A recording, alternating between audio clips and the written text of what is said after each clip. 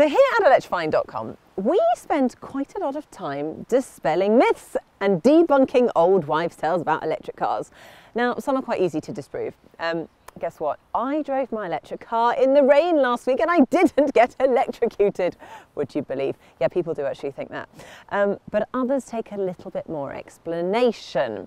Now, there is one criticism that we've read quite a lot on our social media channel, and that is selling a used electric car is almost impossible because, I quote, nobody will want to buy a car with a second hand battery.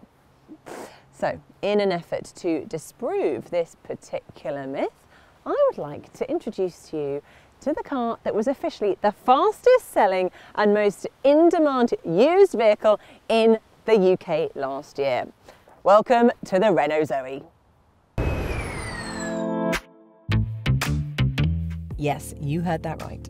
The 2015 version of our favourite French fancy topped Auto Trader's list of cars that spent the shortest amount of time on the nation's forecourts.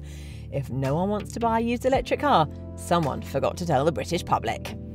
The Zoe was launched in the UK in 2013 and is still one of the most popular electric cars in Europe. The first cars were fitted with a 22 kilowatt hour battery, which returned a range of between 60 and 90 miles and was known as the ZE20. In 2015, Renault introduced a new version with the same battery but an upgraded motor that extended the range to around 120 miles. All good news, you might think. But there's a catch, of course, there's always a catch. So the later model with the longer range can't be rapid charged, so make sure you know what you're getting. Confusingly, Renault sold both cars at the same time with the same name. Thanks, Renault. So if you do want to know how to spot the difference, then the original has the model code Q210, while the later model is known as the R240, not R2D2. That's someone else. Now, for some strange reason, Renault kept this confusing setup when it updated the Zoe range in 2017. In came a much bigger 40 kilowatt hour battery, but the confusing two motor option remained. So, if you wanted a long range, you had to choose the car that couldn't be rapid charged. And if you wanted a rapid charge, you had to choose the car that had the smaller range. Hmm, clear as mud, right? Thankfully, charging the Zoe is a pretty simple affair. Apart from the current model, all Zoes have this nice and simple socket at the front of the car. Now, the electric car buffs will tell you that this is called a Type 2 plug socket. On most electric cars, the Type 2 uh, is known as the slow charger, but on the Zoe, it has this rather clever party trick. Can actually charge up to 43 kilowatts if it's fitted with rapid charge capabilities. Now, this sounds like great news, but there is a bit of a downside. Because these early Zoes are now the only cars around that can rapid charge through a Type 2 cable, a lot of the newer charging units aren't actually being fitted with them. So if you rock up to an Instavolt or a Polar 150 kilowatt unit, you're going to be out of luck, unfortunately. Using a standard 7 kilowatt home charger, the 22 kilowatt hour Zoe will take around 3 hours to fully charge, while the 40 kilowatt hour model will take around 4.5 hours. For rapid charge models, the 22 kilowatt hour will take 30 minutes to get an 80% charge, while the 40 kilowatt hours will take just under an hour to reach the same level. Now the size of the Zoe is kind of very similar to your regular Super Mini. The battery is stored under the floor which means you are left with a grand total of 338 litres of boot space, which is pretty decent and plenty of room for five people inside. Driving a Zoe really is as easy as it gets, and I can completely see why it's developed such a devoted following over the years. First of all, you've got this amazing big windscreen with great visibility. Then the controls are nice and clear, they're in sensible places.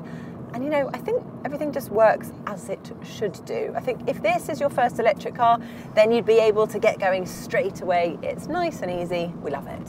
However, it's maybe not the quickest thing on the road. 0 to 60 takes around 13 seconds, but it actually feels a lot more lively than the figures suggest. So let's give it credit for that. Perfect for urban driving. You also get a lot of kit with the Zoe, which is a real bonus. Dynamique models were the biggest seller in the UK, and they came with alloy wheels, air conditioning, hill start assist, Bluetooth, and a load of other goodies. You also get remote charging via an app and cabin preconditioning, so you can get your car nice and toasty inside before you get in it.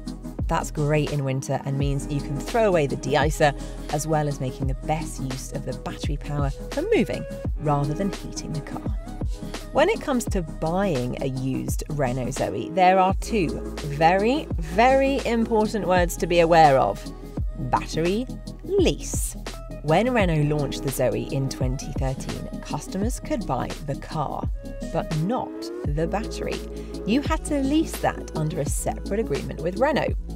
Now, that might sound like a bit of an odd arrangement now in 2020, but bear in mind back then batteries cost a fortune, and actually, nobody knew how long they were going to last. So, by offering the battery as a lease, it was actually quite clever because then Renault kept the price of the car down, but also gave customers the confidence that they could go electric by guaranteeing the battery. However, where this grand plan starts to unravel is on the used market, and that's because until very recently, the batteries could never be paid off and actually had to be transferred to the new owner who then had to carry on the payments. So while you could pay cold hard cash for your Zoe, the battery was owned by Renault, who could charge you anything from 50 to 110 pounds a month just to have it in your car.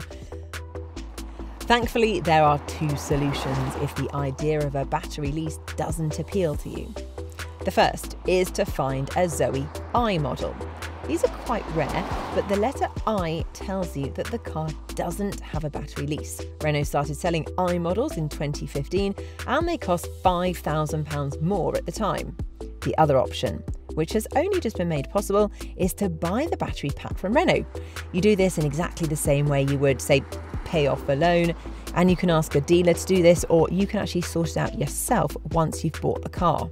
If you decide to go down the DIY route, you will need to agree a settlement figure with Renault. The cost of the battery will depend on its age and the mileage of the car. Every car will be different, but if you have an early model, the buyout figure should be around £2,500, while a late model with a low mileage will be around the 6,000 mark. As for reliability, the Zoe has proved itself to be a pretty robust little thing. For all models registered up to the end of 2018, the warranty was four years on a car and five years on the EV powertrain. Now, the battery is covered for eight years or 100,000 miles, and if you decide to continue with the battery lease, Renault will replace the battery free of charge if its capacity drops below 75%. So, what's it going to cost you to have this Renault Zoe on your driveway? Well, the early 22 kilowatt hour cars start from just under £6,000 for a battery lease model, which is amazing. Now, if you have the battery owned i model, they're available for around 7,500. Then, if you have the bigger battery, the 40 kilowatt hours, that starts from around 11,500 pounds with a battery lease, and then you've got to pay 14,500 pounds for the battery owned model. Got that? Basically all round it's a great value car whichever model you choose you're going to be onto a winner with the zoe. It's fun to drive. It's really easy to live with. So i think if you're looking to make your first step into the world of evs then i think this is a great place to start. Thanks for watching, and don't forget to check out our other used electric car reviews and videos at electrifying.com.